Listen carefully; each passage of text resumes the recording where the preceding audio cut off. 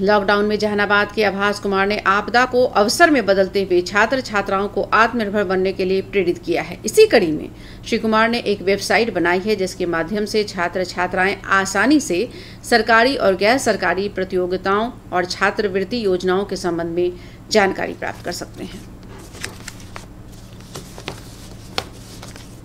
मैंने विद्यार्थियों के लिए एक फ्री वेबसाइट का निर्माण किया था, जिसके माध्यम से वे पता कर सकते हैं कि केंद्र